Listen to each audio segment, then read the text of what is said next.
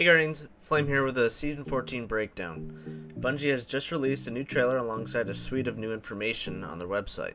Today I'll showcase the new trailer as well as go over the new information found on Bungie.net. To kick things off, here's a look at the new trailer.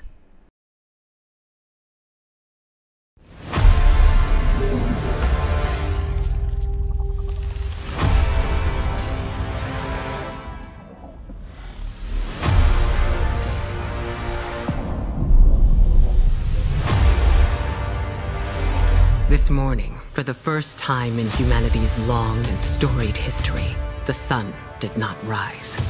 It's a Vex simulation that has plunged the city into an endless night.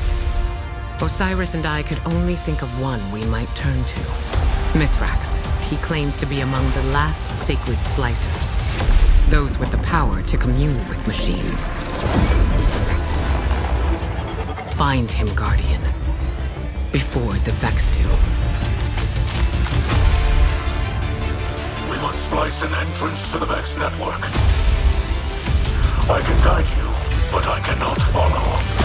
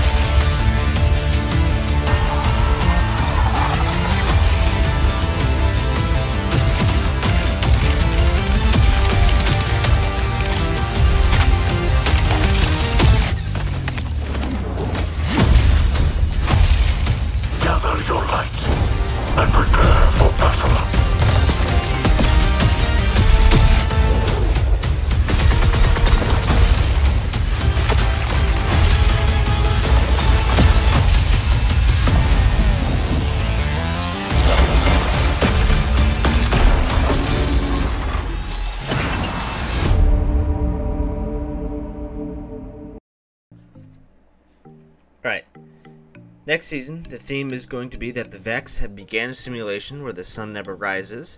Ikora is said to have a pivotal role in this. Mithrax will also be returning, which is pretty cool.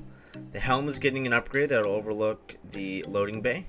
Some people think that this servitor right here might be the servitor from Insurrection Prime, which is kind of cool.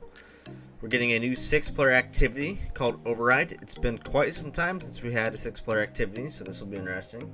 Maybe a little refresher. We're getting another ex exotic pinnacle mission um, called Expunge. Looks cool. Uh, Vault of Glass is returning, which we, knew that. But uh, we're getting a new raid jacket, a raid ring, and the new Triumph seal called Fate Breaker. Armor Synthesis, once again, we knew about that. We'll be with Ada 1 near the loom with all this synth weave material. Next up, we've got 30 new reprised weapons coming, which will be kind of cool. Uh, here's a look at the new exotics. We're getting three of them, boots for each class. For the hunters, Star Eater Scales allows hunters to feast upon orbs of power, charging their super more quickly and making it more potent. The Path of Burning Steps, Titan armor that converts solar eliminations into increased weapon damage. It makes them more difficult to lock down with stasis.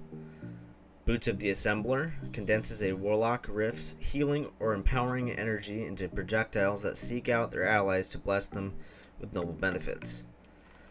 Lastly, here's a look at the Season Pass. We have a new exotic sidearm, which will uh, basically freeze enemies, as well as new ornaments.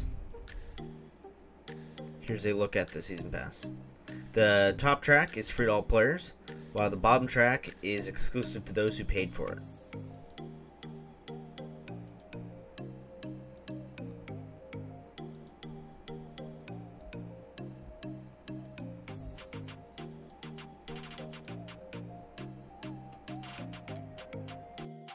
I, I was seeing some confusion whether Vault of Glass would be free to play or not, and it is indeed. So that's pretty cool. Alright, that's just about it for me. Hopefully this video was helpful. The new season will be starting next Tuesday, May 11th. I'll be streaming a bunch next week at Flame Venom TV, so come stop by and say hello. I will also be uploading guides and reviews as much as possible next week, so stay tuned for that. If you like what you see, please consider liking, subscribing, and sharing my content to help support the channel. Alright, coolio. Have a good one.